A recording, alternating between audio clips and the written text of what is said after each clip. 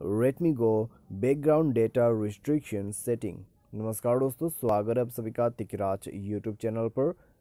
तो दोस्तों, आज के इस वीडियो पर मैं आपको बताऊँगा कि कैसे आप जो है किसी भी एप्लीकेशन का बैकग्राउंड डेटा ऑफ़ कैसे कर सकते हैं। तो दोस्तों, अगर आपको जो है बैकग्राउंड डेटा बंद करना है, ठीक है? बैकग्राउंड डेटा रिस्ट्रिक्ट करना है तो कैसे आप कर सकते हैं कोई भी एप्लीकेशन का आज के इस वीडियो पर मैं आपको यही सेटिंग शो करके बताने वाला हूँ।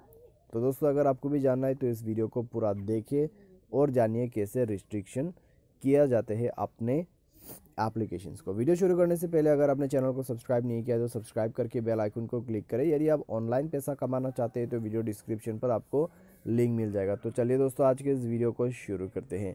तो दोस्तों, सबसे पहले तो आपको करना क्या है? अगर आपको रिस्ट्रिक्ट करना है बैकग्राउंड तो जाइए मोबाइल सेटिंग पर। उसके बाद दोस्तों स्क्रॉल डाउन करके डेटा यूज़र्स को ओपन करें।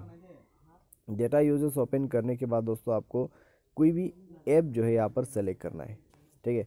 आप सिस्टम ऐप में से भी यूज़ कर सकते हैं या फिर आपके कोई थर्ड पार्टी एप्लीकेशन उसको भी यहाँ पर रिस्ट्रिक्ट कर सकते हैं। कैसे? मान लीजिए आपको पिक्सल लैब का बैकग्राउंड डेटा रिस्ट्रिक्ट करना है तो नीचे में जो आपको बैकग्राउंड डेटा दिखाई दे रहा है, उसी पर टैप करना है और ओके कर देना है रिस्ट्रिक्ट हो जाएगा। मान लीजिए दोस्तों आपको रिस्ट्रिक्शन लगाना है प्ले स्टोर में तो सिस्टम ऐप पर जाइए।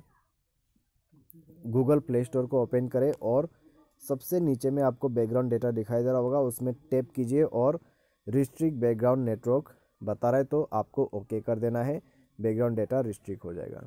तो इस प्रकार से दोस्तों आप जो है रिस्ट्रिक्ट कर सकते हैं अपने बैकग्राउंड्स को, ठीक है? तो दोस्तों बहुत आसान सा प्रोसेस है, बस आप इस प्रोसेस को फॉलो अप कर ले, आपका बैकग्राउंड डेटा आप रिस्ट्रिक्ट कर सकते हैं। तो आज के इस वीडियो पर दोस्तों बस इतना ही, थैंक्स फॉर वॉचिंग।